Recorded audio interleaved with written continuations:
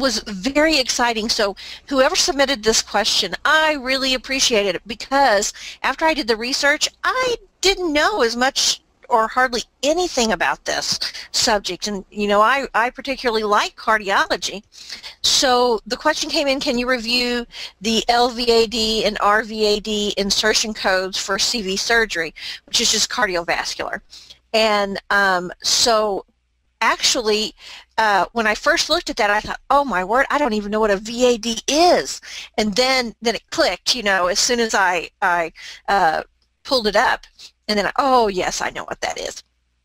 But it is an assistive device. It's a ventricular assistive device is what that stands for. And you can have a left and you can have a right because you have a left and a right uh, ventricle in your heart. And ultimately what this is, is it allows you to uh, live a little longer when you need heart surgery. So this is this first guy here. He's actually 20 years old. He was a um, he was a professional athlete and heart he had a heart attack. And so uh, you can see the surgery where they went in, and I'm going to explain a little bit more how this is set up, but this was keeping him alive uh, until he got a heart transplant. And so this is this is what it actually does is uh, you have this device right here that goes into the aorta and then down into uh, the ventricle. This one's going into the left ventricle, so this would be an LVAD, a left ventricular assistive device. Then there is this supply line, and it's literally it plugged into a motor you know, and what this does, and there's a battery pack, you have to have two battery packs, so you walk around with this everywhere you go, 24 hours a day, all right, and that literally keeps you going, literally keeps your heart going. But this is called a drive line. Very important to know the drive line when you go to coding this because there's a lot of codes that surround the drive line and complications that can happen.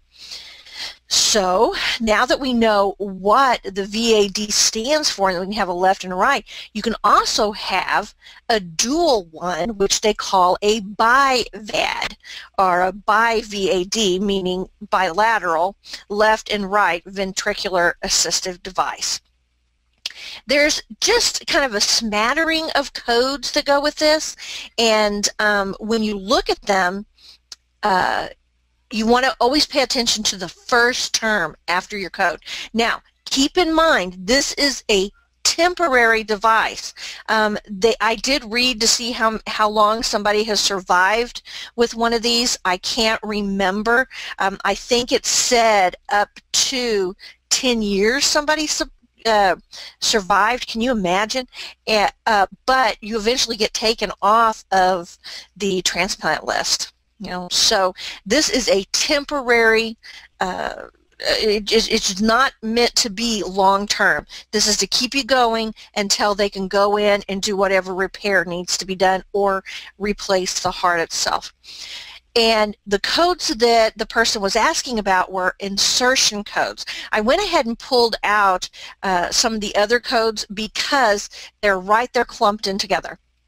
The first one, 33975, is insertion of the ventricular assistive device, which I'm just going to say VAD, extracorporeal single ventricle. So just one side, that the left or the right uh, uh, ventricle is being done. Then you have an insertion of a VAD for both sides, left and right, biventricular is how you would say that.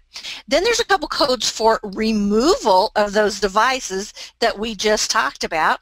And then you have an, uh, uh, this 33979, which is an insertion of the VAD uh, implantable intracorporeal single ventricular. Okay, so that's where uh, they're doing something a little different. I'm going to explain that here in the future. Uh, then they have a removal code for that, and then they have a replacement uh, code for something going wrong and a part of the pump or something that needs to be replaced. Let's scroll down here Note, very important though, about 33982, you are not to use this code without 33983 or uh, or with, uh, that's the same thing, 33983. I wonder why they did that twice. Cardiopulmonary bypass. Okay. Now, there's another replacement, not a big deal, easy to follow. Some people get a little confused about what does extracorporeal mean, and it just it ultimately just means that it's surgery. They're doing something on the outside going in. Okay, so intracorporeal is going inside and doing the um, uh, making any changes or uh, but just think of it as surgery that's the that's the best way to think of it don't confuse uh, interrogation with insertion now this at first I thought well nobody will confuse that and then I got to looking at the codes and I thought oh well I can see how this could be confusing so this interrogation of the ventricular assistive device the VAD in a person with a physician or other qualified healthcare professional, blah, blah, blah. Uh, but they're talking about the drive line. Remember I told you about that drive line, that tube? All kinds of uh, complications can happen with that. It can get infected. You know, think of somebody that has a stoma. We're more familiar with stomas than we are uh, something being inserted directly into the heart and then them using it all of the time. But uh, infections can, can happen and injuries around that area where that drive line is going. Uh, you can have alarms and power surges. So the review of uh, the device to function is part of it and they do uh, flow and volume status, they do uh, septum status and recovery. It's amazing what they can plug these machines in and tell you about. Uh, and then they're doing programming, and if that's, uh, they do programming, if that's performed, they have reports and stuff.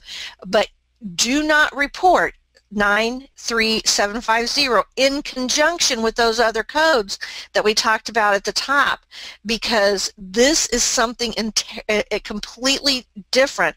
This um, interrogation is not the same as insertion or removal. All right? Uh, this is just going in and maintaining, I guess is the best way to explain that.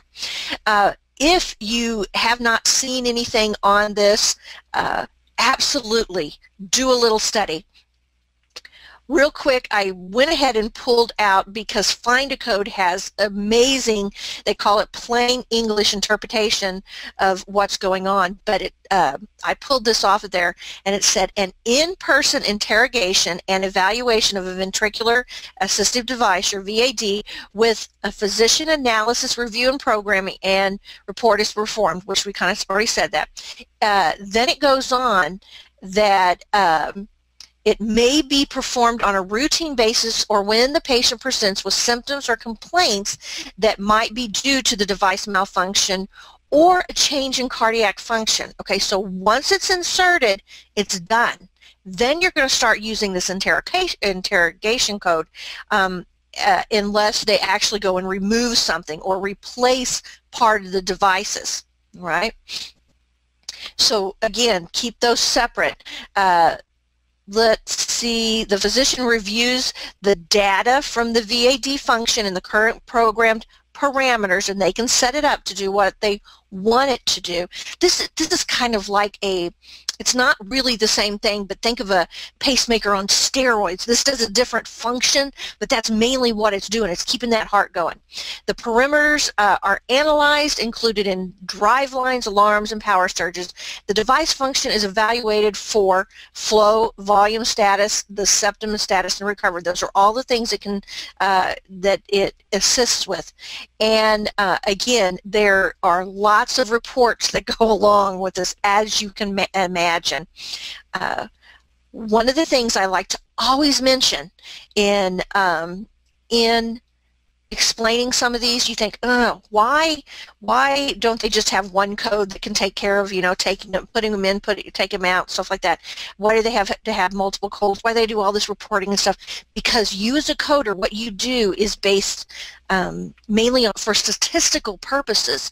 What you do now changes the future. And this is an amazing device that I honestly don't know how long it's been around. I didn't get that far into my uh, research, but fascinating. So when you have a little bit of time and you uh, you want to look up some stuff on the cardio, look into this. They even have lots of pictures on Google Image on these actually being put in. So I didn't I didn't torture you with any of those tonight, uh, but know that they do this for uh, neonates all the way up to uh, geriatric ages, all different ages. And that's it, guys. Very exciting. Do you need more medical certification training? Go to www.cco.us.